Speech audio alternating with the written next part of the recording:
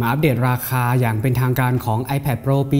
2020 แล้วก็ Magic Keyboard ตัวใหม่ล่าสุดนะครับ เท่าไหร่กันบ้างไปดูกันเลยนะครับ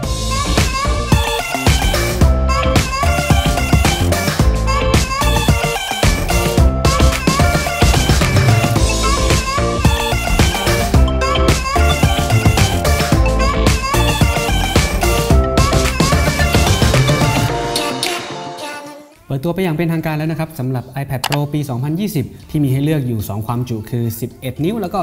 12.9 นิ้วนะครับ ฟีเจอร์เด่นๆ ก็คือมาในเรื่องของ CPU A12Z Bionic นะครับผมมาพร้อมกล้องหลัง แล้วก็มีเซ็นเซอร์วัดระยะนะครับที่ชื่อว่า Radar Sensor นะครับ ข้อมูลจุดเด่นผมได้อธิบายไว้ในคลิปก่อนหน้าแล้วนะครับ เดี๋ยวลองกดตามไปดูว่ามีอะไรอื่นๆ เพิ่มเติมบ้างนะครับ ผมแนบลิงก์ของคลิปเก่าไว้ที่ใต้คลิปนี้นะครับ เดี๋ยวเรามาดูราคากันก่อนนะครับ ของ iPad Pro ในปี 2020 นั้น ราคาเป็นเท่าไหร่กันบ้างนะครับ เริ่มต้นในฝั่งของ iPad Pro 11 นิ้ว รุ่น Wi-Fi ก่อนนะครับ ความจุ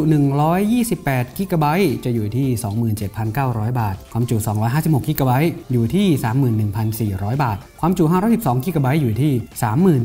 38,400 บาท แล้วก็รุ่น1 t b นะครับ ราคาอยู่ที่ 45,400 บาท ซึ่งตัวนี้นะครับ เมื่อเปรียบเทียบกับ iPad Pro ในปี 2018 ถือว่าราคาถูกกว่านะครับ มาดูในรุ่นที่เป็น Wi-Fi บวก Cellular นะครับ ในรุ่น 11 นิ้ว ความจุ 128 g b อยู่ที่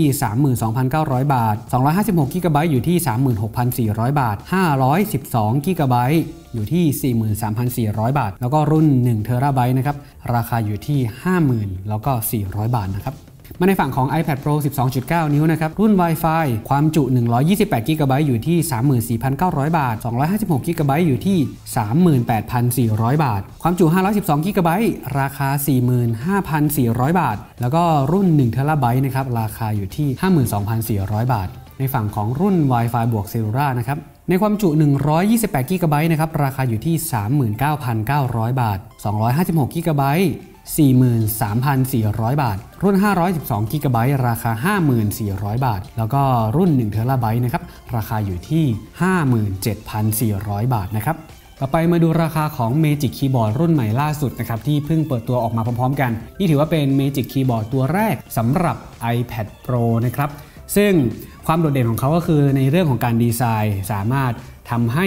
ตัว iPad นั้นยกลอยได้นะครับผมมีพอร์ต USB ชาร์จเข้าไปด้วย ตัวคีย์บอร์ดนั้นมี trackpad อยู่ในตัวด้วยนะครับ สามารถรองรับการใช้นิ้วในการลาก cursor ให้กับตัว iPad ด้วยนะครับ คุณสมบัติของ Magic Keyboard ตัวใหม่นี้นะครับ จะใช้คีย์บอร์ดกลไกแบบกรรไกนะครับ ที่เหมือนกับ MacBook Air ตัว 2020 ที่เพิ่งเปิดตัวออกมา แล้วก็ MacBook Pro ปี 2019 รุ่น 16 นิ้วที่เปิดตัวออกมาเมื่อปลายปีนะครับ มีปุ่ม Backlight ในตัวด้วย มี Trackpad ในตัว รองรับคำสั่งแบบ Multi Touch นะครับ แล้วก็มี cursor ใน iPad OS นอกจากนี้สามารถปรับมุมมองก้มเงยสูงสุดได้ถึง 130 องศา มีพอร์ต USB-C สำหรับการชาร์จ iPad Pro แล้วก็สามารถพับเป็นเคสให้กับตัว iPad Pro ได้นะครับ มาดูในเรื่องของราคานะครับ มีให้เลือกอยู่ด้วยกัน 2 รุ่น 2 ขนาดก็คือ ขนาด 11 นิ้วนะครับ ราคาจำหน่ายอยู่ที่ 9,990 บาท แล้วก็ในรุ่นของ 12.9 นิ้ว ราคาจะอยู่ที่ 11,690 บาท ในเรื่องของการเปิดขายนะครับในฝั่งของ iPad Pro ยังไม่ได้มีกำหนดเปิดขายในประเทศไทยว่าเป็นวันที่เท่าไหร่ แต่ข้อมูลที่ได้รับแจ้งมาก็คือจะวางขายเร็วๆนี้นะครับในฝั่งของ Magic Keyboard นั้นจะวางขายในเดือนพฤษภาคมปี 2563 นี้นะครับจะตามหลังตัว iPad Pro 2020 ออกมานะครับทางนี้ถ้าหากมีความคืบหน้าในเรื่องของการวางขาย เดี๋ยวเราจะมาแจ้งให้ทราบอีกทีนึงนะครับเพื่อไม่ให้พลาดการอัปเดตต่างๆนะครับอย่าลืมครับกดติดตามช่อง iMode Official ของพวกเราไว้ ผมต้อง iMode ขอลาไปก่อนในคลิปนี้ ไว้เจอกันในคลิปหน้าเร็วๆนี้ครับสวัสดีครับ Let's go.